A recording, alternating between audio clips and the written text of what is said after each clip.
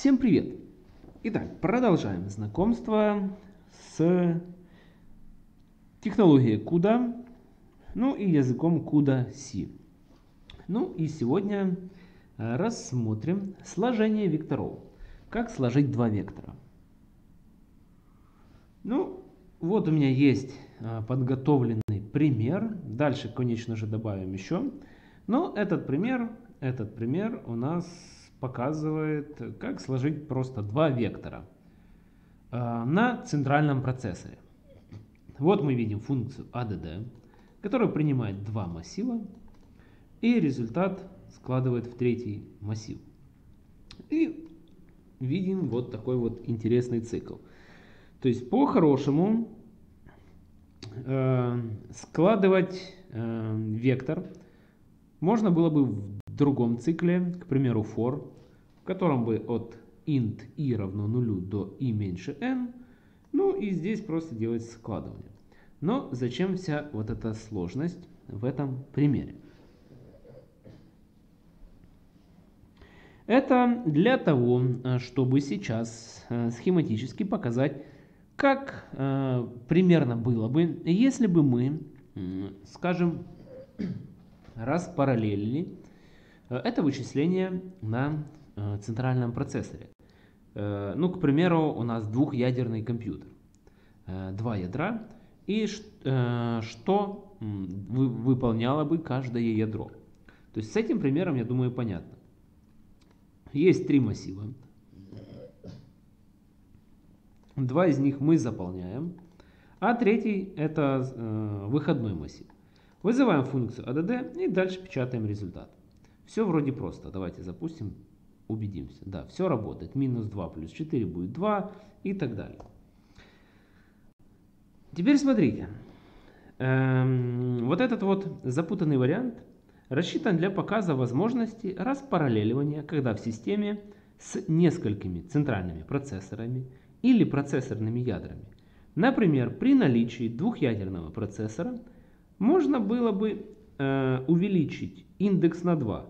При этом первое ядро инициализировало бы вот это вот значение э, нулем, а второе единичкой. Давайте схематически посмотрим, что было бы. Сделаем вот так вот. И, к примеру, э, это схематически. В реальном мире, э, конечно же, распараллеливание для двух ядер – было бы чуть-чуть другим и более сложным. Но я думаю, идею вы должны понять. Так вот, напишем здесь. Давайте core 1 будет выполнять. То есть в реальном мире вы знаете, что многопоточность даже у нас там создается одна функция и с помощью специальных API а, а, функций э, указывается, что эта функция должна там выполняться э, в многопоточном режиме. Так вот, смотрите, к примеру, двухъядерный или двухпроцессорный компьютер. И у нас есть возможность распараллелить. Так вот, как же можно было бы распараллелить сложение? Вот это TID э, у нас чем-то должно инициализироваться. Так вот, первом случае, когда мы запускаем для первого э, ядра нулем, для второго ядра единичкой. Дальше. А вот этот вот счетчик мы увеличиваем на 2. Теперь смотрите. Первое ядро выполняет и слаживает э, индекс, э, элементы массива с какими индексами? 0, 2, 4, 6, 8. А это ядро с индексами 1, потом плюс 2, 3, 5, 7, 9. То есть, как мы видим, задача распараллелилась, и сложение э, двух векторов выполняется в двух, э, двумя ядрами или двумя процессорами, независимо друг от друга, не наезжая по, по памяти друг на друга.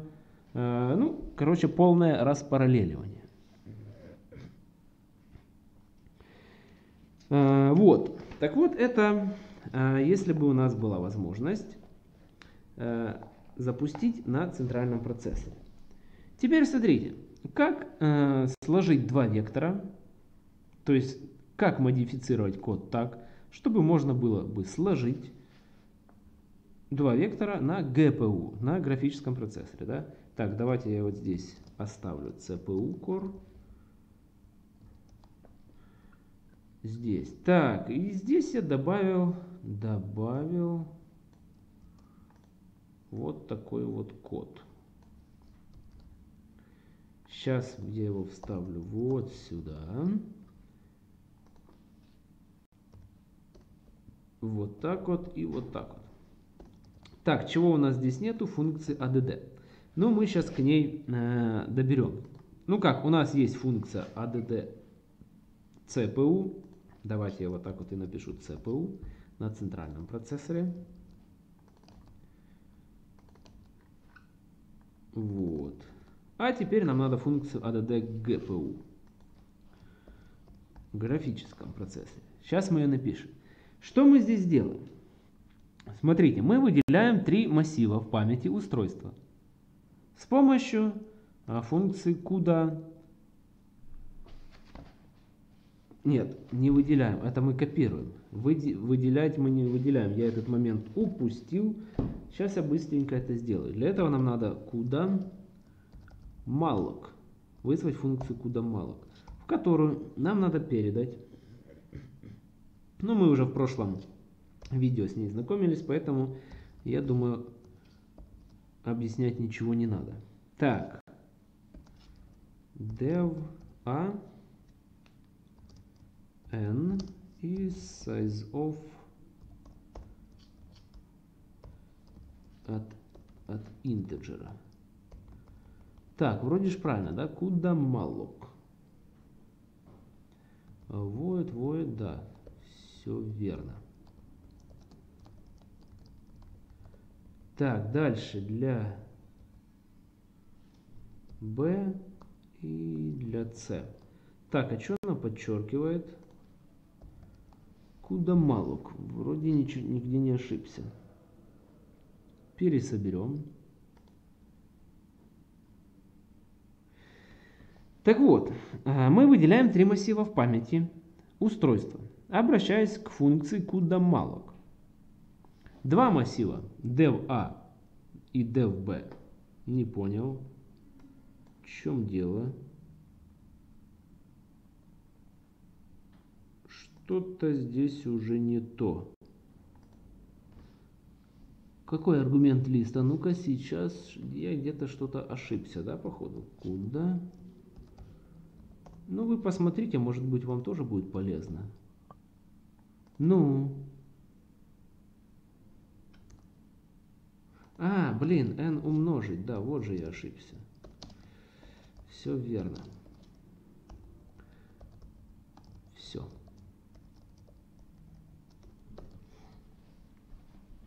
Так вот, два массива dev-a и dev-b будут содержать исходные данные, а третий массив dev-c будет содержать, или dev-c будет содержать э, результат. Так вот, а, как и а, при программировании на языке C или C++, если мы где-то вызываем malloc либо new, значит ручками где-то надо вызвать free или delete. Что здесь и делаем. Для трех массивов выделили память на устройстве и для них также потом освободим. Есть. Дальше. Что мы делаем дальше? Дальше надо заполнить эти массивы. А, вот здесь я их сейчас заполню. Сейчас я память выделил. Потом заполняю. После чего я копирую. Я вызываю функцию, функцию memCopy. Куда memCopy?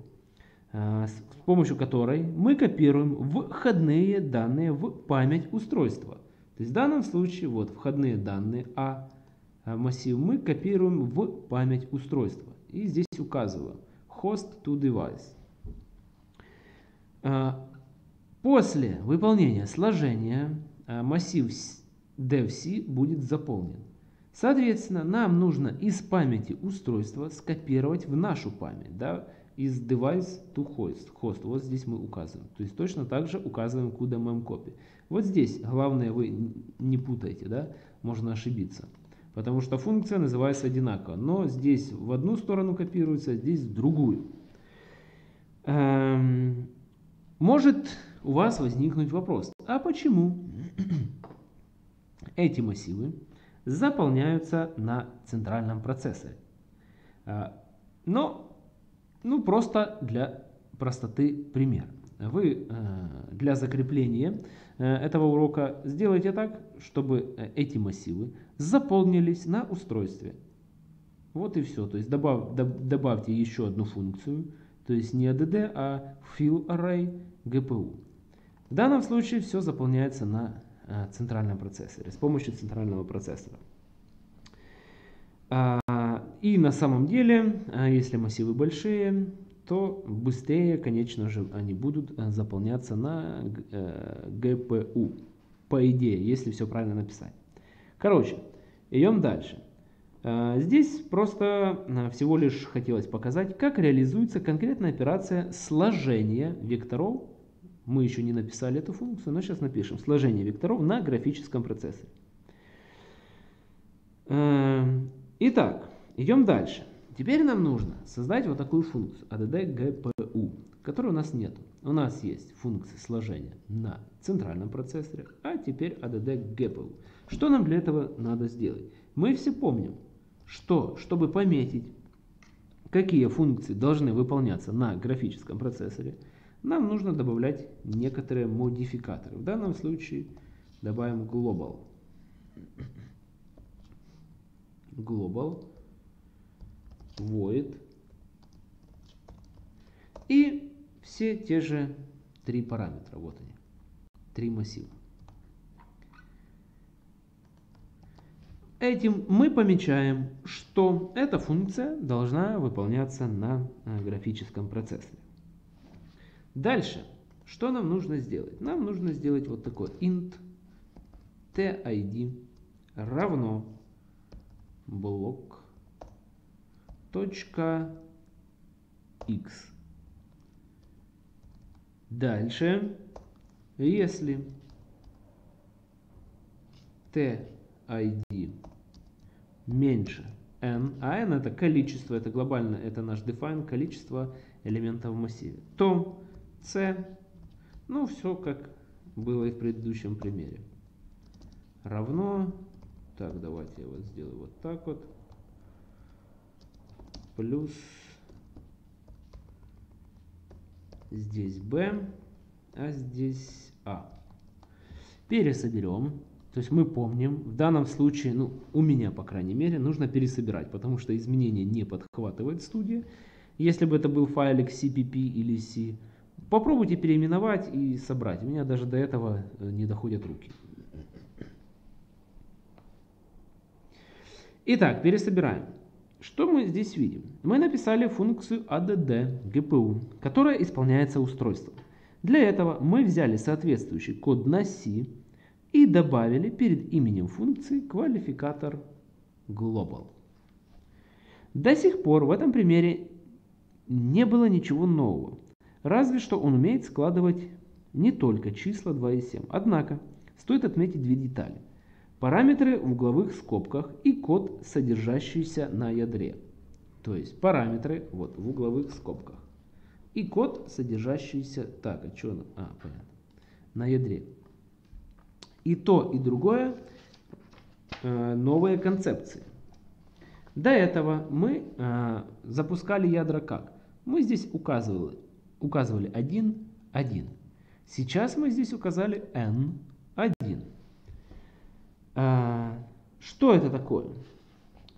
А, напомним, что еще не было объяснения смысла двух чисел в этих угловых скобках.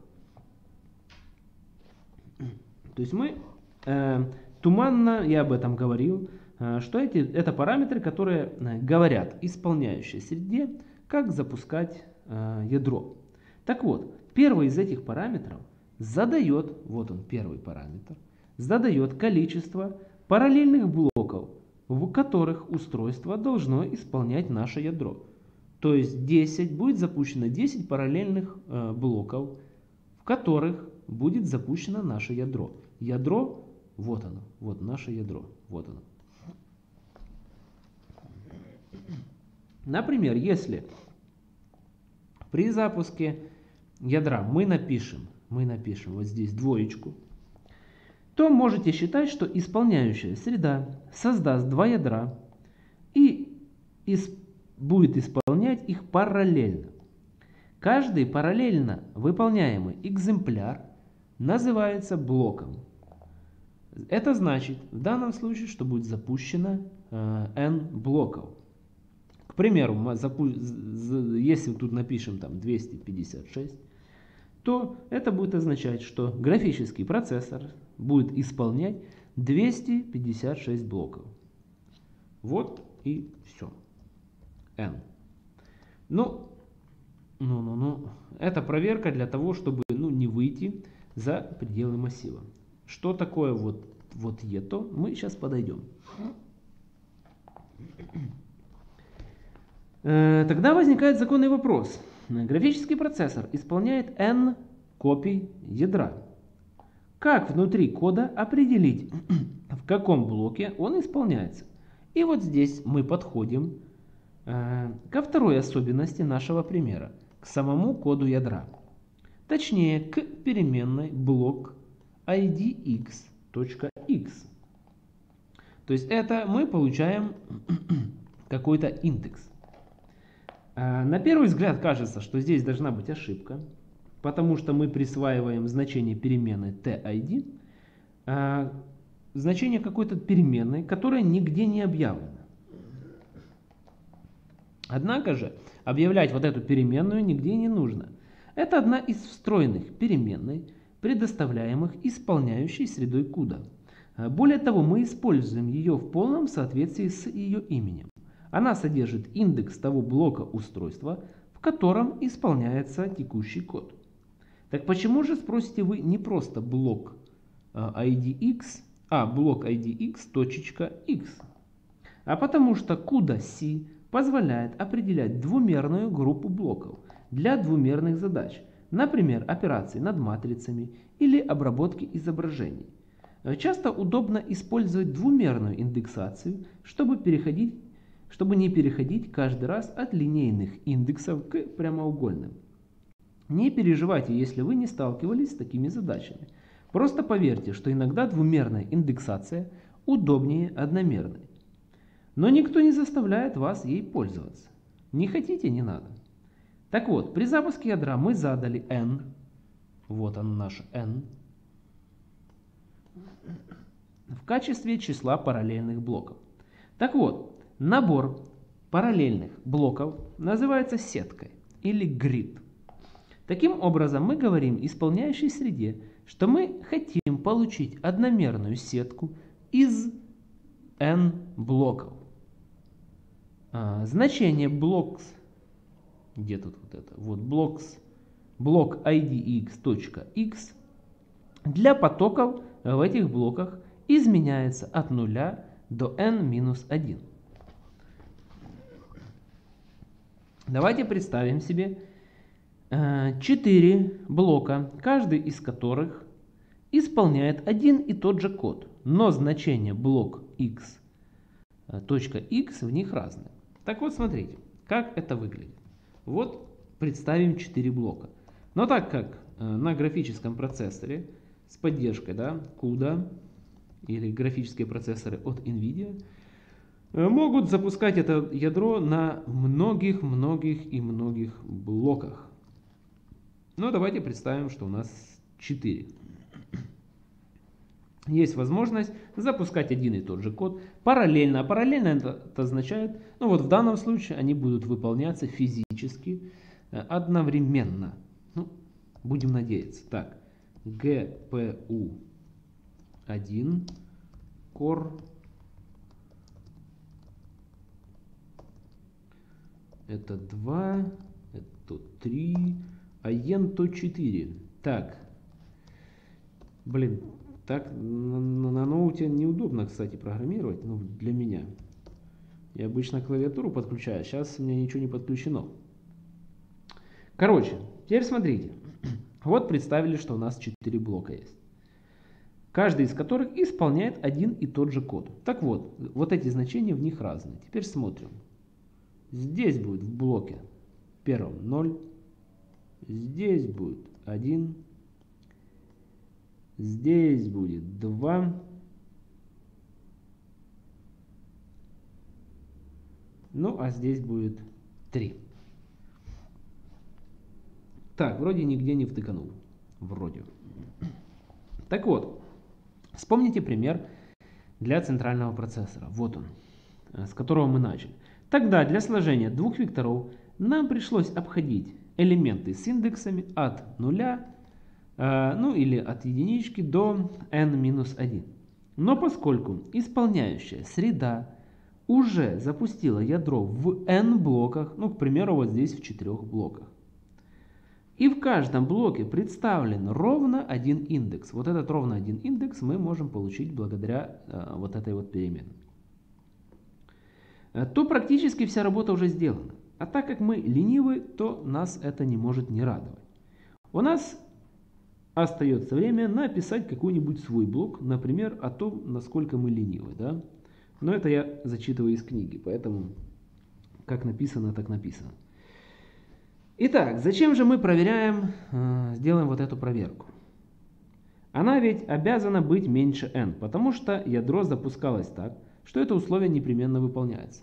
Ну, на самом деле так. Здесь мы указываем, для э, сколько блоков запустить. Соответственно, ну, вряд ли будет такая ситуация, когда э, у нас э, вот это будет больше, чем n.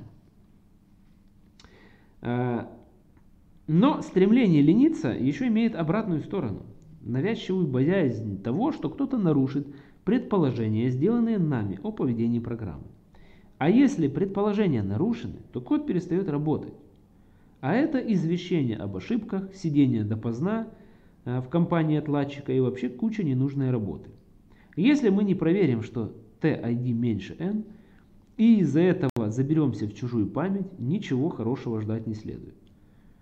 Э, на, э, на самом деле это, скорее всего, приведет к насильственному завершению ядра, потому что в ГПУ встроены изощренные схемы управления памятью, которые завершают процессы, нарушающие правила работы с памятью.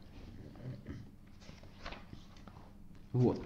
Вот поэтому и сделана эта проверка. Так вот, что же мы имеем? Мы имеем код, параллельно исполняемый графическим процессором. Может быть вы и слышали, что это трудно или что для программирования задач общего назначения на ГПУ нужно разбираться в компьютерной графике. Но, как вы убедились, это уже не так. CUDA-C э, очень хорошо э, упрощает, то есть дает существенное упрощение для написания параллельного кода на графических процессорах. А в этом примере мы складывали вектор, где у нас тут n, вектор длиной 10. А, мы можем это 10, или вы можете, изменить на 10 тысяч или 50 тысяч, чтобы, чтобы сразу запустить десятки тысяч, э, тысячи или десятки тысяч параллельно исполняемых блоков. Но имейте в виду, ни одна из размерностей массива блоков – не должна превышать вот это значение. 65 535. То есть больше запустить нельзя э, ну, параллельно выполняемых блоков. Э, это ограничение налагается оборудованием, так что попытка запустить больше блоков приведет к ошибке. Но как обойти это ограничение, будем разбираться в следующем видео давайте if больше равно error. Вот так. Так, если n. Так вот, смотрите. Но мы сейчас запустим, конечно же. Проверим, работает ли. Так вот, фишка в чем? Фишка в том, что запускаются n параллельных блоков, которые по-хорошему, ну в данном случае у нас 10 штук, поэтому можно 100% говорить, что все они выполнятся параллельно. То есть можно сказать одновременно.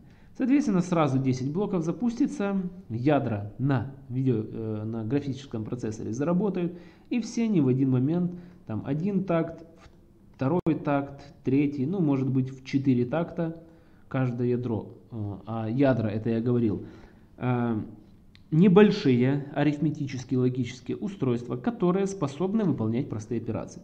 Printf сюда вряд ли получится всандалить. Потому что printf работает с...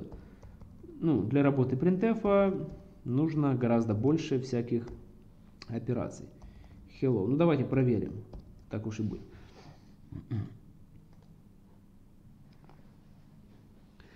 Так вот, соответственно, запускается параллельно n блоков. И они в один момент, грубо говоря, за 4 такта, а эти 4 такта выполняются параллельно, раз и выполнились. И вектор у нас сложился очень быстро. Ну чё, чё, чё, можно или нельзя? Ну вот как так? Давайте вы выполним. По идее должно завершиться. Тогда hello. А, не, hello даже вывелось. Интересно. Значит, hello printf можно делать. Но сложные операции здесь делать не рекомендуется. Э, потому что, потому что, потому что это, эти ядра, как я уже говорил, они сопроцессоры. Вот, поэтому они выполняют не, не очень уж сложные операции. Так, давайте запустим еще раз. Долго пересобирает на самом деле. Странно, почему? Ведь у меня-то сколько? 12 ядер. Ну, здесь, скорее всего, не от ядер зависит, а от того, что у меня диск не SSD-шка, потому что вот SSD-шка, но на ней стоит Ubuntu, а здесь обычный диск. Так, ладно, запускаем. Еще раз. И смотрим. Вот сработало на центральном процессоре, а вот сработало на графическом процессоре. А, и еще тут есть, конечно, какие-то Э, какие-то э, от NVIDIA анализаторы. Я думаю, мы, мы будем с этим разбираться позже. Но сейчас я запущу, посмотрим. Посмотрим, что ж так долго... Так, смотрите, как оно выглядит. Я запускаю пример. Я хочу... Я хочу профайл куда application. Хорошо, что тут? Так, так. О, вот это, наверное, профайл. Next Gen. Дальше, дальше, дальше. Что мне надо? GPU. Warp State. Хрен его знает. Вы, кстати, поклацайте, если у вас студия. Если у вас не студия, а Ubuntu, и у вас там запускается Eclipse, то там тоже это все есть. Э, есть, есть. Вот это Unsigned NVIDIA. Давайте запустим, посмотрим что нам выдаст. Опа, опа, опачка. Профайлинг какой-то прошел. А, и что мы видим? И профайлинг э, конкретно для нашей для нашего кода, который выполнялся на GPU. Так, и что? Ну, я что-то ничего не понимаю. Speed of light. Что это означает? Memory. Duration. Сколько duration прошло? 5,4 усек. Это наносекунд. А что если изменить на 50 тысяч? Раз, раз, два, три. Давайте попробуем тест сделать. И запустим э, э, профайлер. По поводу замера времени я, наверное, в следующий раз уже сделаю потому что нужно подготовить. Это я сейчас долго писать буду, а тут на паузу не ставится. Тут только останавливается запись, а потом запись опять надо запускать, а потом это склеивать, а потом это еще, короче. Я думаю, вы понимаете. Так, сейчас запускаем. Итак, запускаем э, performance, какой-то анализатор. Говорим, говорим вот это. И, и выбираем, э, скорость. Давайте, давайте вот это еще. Давайте вот это еще. Memory. Instruction. Короче, вы, вы поиграйтесь, если вы... Ой-ой-ой. Эти принтефы. Magic Number какой-то прочитала. Печально, печально мы почему-то упали. И почему? Давайте я выводить не буду. Сейчас попробую еще раз запустить. Я даже не знаю, сколько уже пишется видео. По идее недолго, но... Кстати, у меня вот это неправильное время. Это 0... Это должно быть сейчас около 9. А показывает 5.55. А почему так, не знаю, потому что... Так, это я вывожу результат тоже, да? А почему так, непонятно. На Ubuntu правильно время? Ну, короче, тут Ubuntu борется как-то с Windows. Я не разбирался, потому что... Так, давайте еще раз. Давайте еще раз запустим вот это. Так, надо пересобрать. Я забыл. Пересобираем. Пересобираем. Профайлер должен, конечно же, ну как, для чего нужны, да, вот эти вот все тулзы, так сказать, приложения, да? Для того, чтобы улучшать свои алгоритмы. А, вот, то есть, чтобы прогонять, делать анализ. Так, ну сейчас хоть выполнится. А, ну, да, вроде выполнил. Хорошо, запускаем последний раз этот анализатор. Это я закрою. Это я закрою. И это я закрою. И запускаем. И выбираем все по-простенькому. Выбираю вот те. Ух ты, блин, смотрите-ка. Какие тут еще настройки есть. Оказывается, ну с этим надо сидеть и клацать. Я, времени сейчас нету. Так, давайте вот это мы выбирали. Давайте запустим. И посмотрим, что произойдет. Я думаю, printf, кстати, ну, компилятор кудовский на printf скажет, что не-не-не, дружище, тут нельзя. Ну, потому что printf, что он, работает с портами ввода, вывода. Хотя, может быть, сейчас эти поколения эти ядра могут работать, не знаю. О, мы упали. Круто. Ладно. Ладно, подождите еще чуть-чуть, попробую еще раз.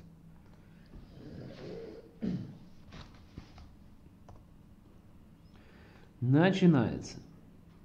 Казалось бы, поставил 50 тысяч. Никогда параллельное программирование не было таким простым. Казалось бы, да? Давайте поставим 10 тысяч. Блин, пересобрать надо. Никогда не было по таким простым. Ну, я думаю, со временем разберемся, э, в чем проблема. И я думаю, у меня все-таки руки дойдут, и я настрою Qt под, э, ну, попрописывать надо все пути к компилятору CUDA, флаги там и все остальное. И по, под Ubuntu уже, я думаю, будет проще и приятнее это все делать. Так, последний запуск. Если не получится, то поиграйтесь сами, если у вас студия. Может у вас и на Ubuntu уже все работает. Так, э, Open Report on Stop. Что мне надо? Мне, мне надо вот это. И вот это. Ланч. Опача, опача. А, выполнилось за 56 нано типа секунд, да? И чё, и чё, recommendation. Нет никаких рекомендаций. Эм, elapsed, сколько циклов? 8 тысяч не 82 тысячи циклов. Хрен его знает. Ну, как вы видите, как вы видите, я бы сейчас с умным видом сказал бы, ну, как вы видите, результат на лицо. Здесь даже ну, нечего объяснять. Я думаю, и так все понимают, что Это круто. Я тут ничего не понял, поэтому закрываю. Поэтому на сегодня все. Всем... Блин, сейчас еще если упадет, это будет весело. Ну, казалось бы, да, компьютер, ноут, 12 ядер, 16 гиг оперативки. И, и что вот это такое? Это студия. Фу. Ладно, не буду, нервы у меня не выдерживают работать с ней. Нужно настраивать QT и работать под умутой. Поэтому всем спасибо за внимание, подписываемся, делимся, ставим лайки, комментируем. Всем пока!